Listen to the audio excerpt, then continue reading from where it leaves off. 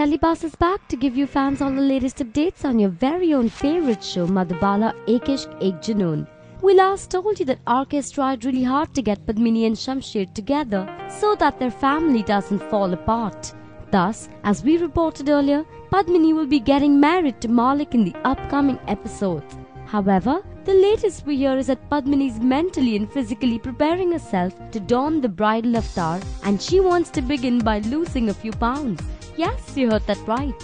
When a source tried contacting Padmini about the marriage track, she said, I always knew that my track would have an interesting twist as mother is shown to have a young mother. Hence, there was definitely a romantic angle involved in it. But during this course of playing a mother on screen, I just gave up on looking after myself.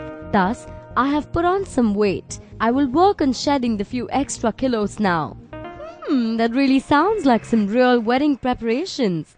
But like it's always said, the actors start living their on-screen characters. While we cannot wait to see the wedding episode,